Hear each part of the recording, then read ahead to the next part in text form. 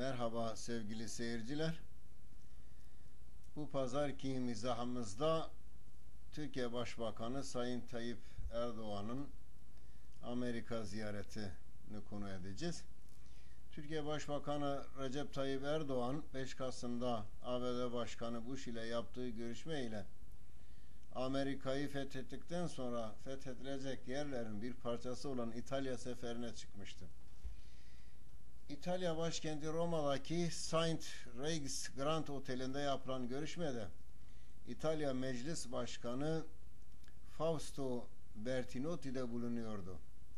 Bertinotti görüşme sırasında İtalya Meclisi'nde 2006 Aralık ayında kabul edilen bir önergede Türkiye'nin toprak bütünlüğüne saygı esası çerçevesinde Kürtlerin azınlık olarak da tanınmasının istendiğine değindi.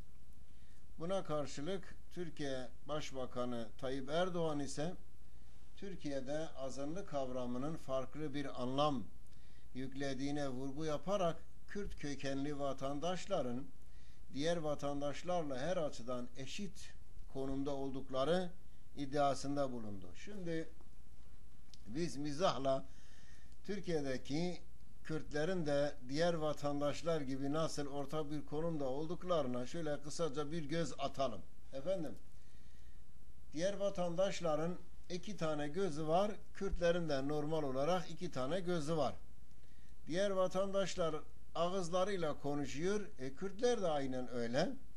Diğer vatandaşlar kulaklarıyla duyuyor, Kürtler de aynen öyle kulaklarıyla duyuyorlar. Diğer vatandaşlar burunlarıyla nefes alıyor, koku alabiliyor. Kürtler de aynen öyle. E diğer vatandaşlar insan olduğu gibi Kürtler de aynen insan. E diğer vatandaşlar yiyip içtiği gibi Kürtler de yiyip içiyorlar.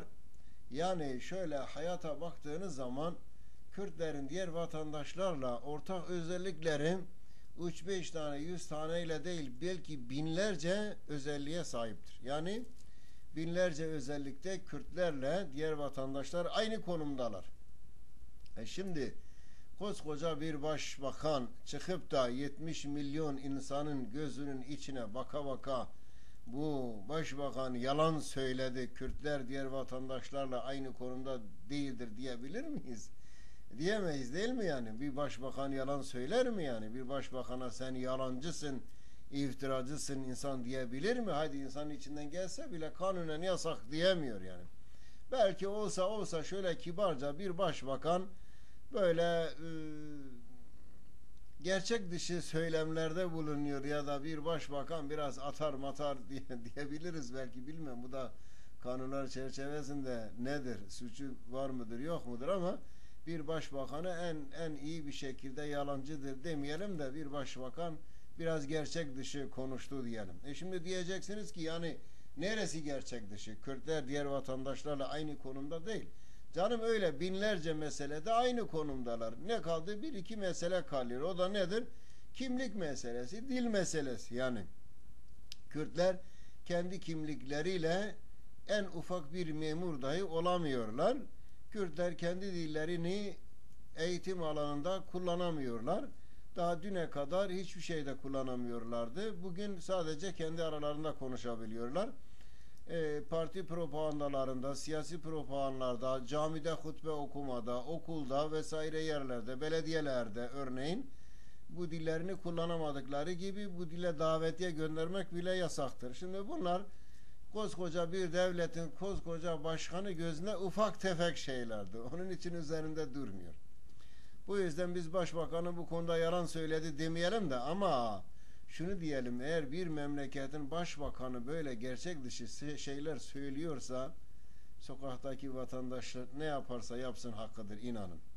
Hadi gelin mizahımızı bir fıkrayla bitirelim. Şimdi zamanın birinde Reco adında biri varmış. Bu Reco çok mu çok yalan söylermiş. Öyle ki yalancılığı bütün dünyaya yayılmış, dillere destan olmuş. Derken bir gün mecliste Demiş ki acaba benim gibi yalan söyleyen bir yiğit daha var mı ki dünyada? E demişler tabi var işte filan memleketin filan köyünde Teyu adında biri var. Git görüş kendisiyle. Merak etmiş bizim Reco yollara düşmüş o köye varmış.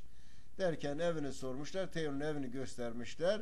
Recu Teyun'un kapısına gittiğinde orada oturan bir delikanlıyı görmüş. Genç 14, 15, 16 yaşlarında bir delikanlı. Ona selam vermiş. Demiş ki evladım benim adım Recu. Ben uzak bir memleketten geliyorum. Ve senin babanın adını, ününü duydum. Babanla görüşmek için ta buralara kadar geldim. Lütfen babana haber verir misin? Gelsin de bir görüşelim demiş. Oğlan demiş amca kusura bakmayın bunu yapamam demiş. Çünkü babam evde yok. E nereye gitti demiş hiç sormayın. Bu gece gökyüzünde melekler kavga etmişlerdi. Semalar delinmiş yüz binlerce melekler inmişti. Yere dökülmüşlerdi. Babam hepsini torbalara doldurdu. İğne iplik aldı. Bütün torbaları sırtlandı. Sırtlandı aldı sırtına yani gökyüzüne çıktı. Şimdi babam melekleri semanın üstüne atacak. O yırtılan dellenen yerleri tek tek dikecek. Meleklerin e, barışını sağlayacak. Ondan sonra dönecek. O yüzden babamın gelişi biraz sürer. Bana kalırsa siz yine geldiğiniz yere gidin demiş.